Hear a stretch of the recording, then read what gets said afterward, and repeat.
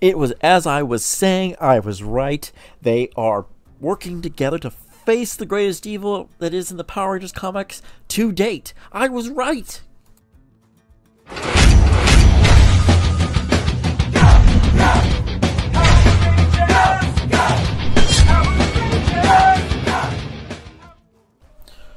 Welcome back to another episode of Power Rangers Lore. Today we're going to talk about the issue number 15 of Power Rangers, currently going on in the Eltarian War. Well, I had been predicting early on, as soon as they were brought up any type of co connection between Zardus, Zofram, and Zordon, that there was going to be a team up with Lord Zedd and Zordon against Zardus. And I was right. I basically predicted it pretty much. They're going to fight a little bit, realize they have a common enemy, and they would work together to take on Zardus. Now, currently they are in the working together point of view. They've um, Zedd's realized he's been played, that he's been betrayed by Zardus, and that he's been manipulated the entire time.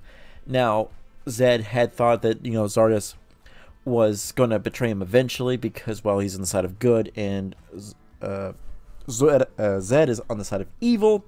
But, hey, he thought he was so more focused on just getting his revenge against Zordon, who he thought was going to, had basically orchestrated the whole thing for him to lose all his skin and become what he is today Lord Zedd, Emperor of Evil, all that type of stuff going on. Well, he's figured out that Zardus is the one at play.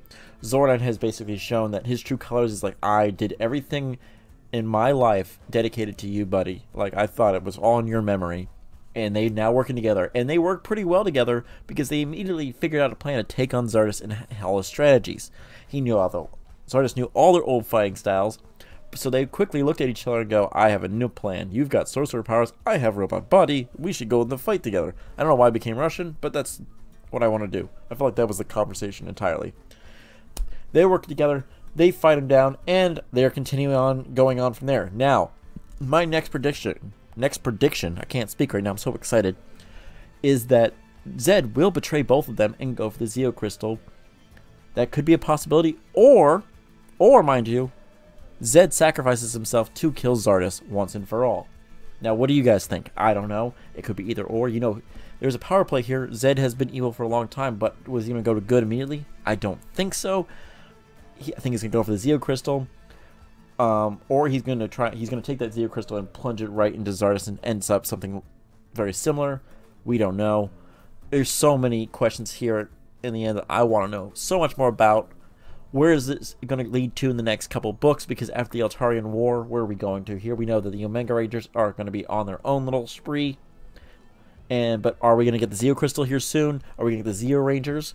We don't know. I hope to see some more stuff soon. The Machine Empire, are they coming? Are they next threat? Who's to say? Let me know what you guys think. There's so much to go on there. What do you think Zedd's going to do in the future? Is he going to stick around? Or is he, is he going to die? Or is he going to look for a redemption arc? I don't know. Thank you guys. Have a good one. Make sure to like, comment, and subscribe down below. Give me your ideas or what you want to see for the future for the comic or anything else going on here. And also, make sure just to tell me how you guys what you guys think of these videos because I love to hear you guys input and all that type of stuff. It helps me improve. If I don't hear any input, I just assume I'm doing correctly. I could be the worst video maker out there, but I sound like I'm doing correctly. So hey, whatever. May the power protect you always, guys, and be safe.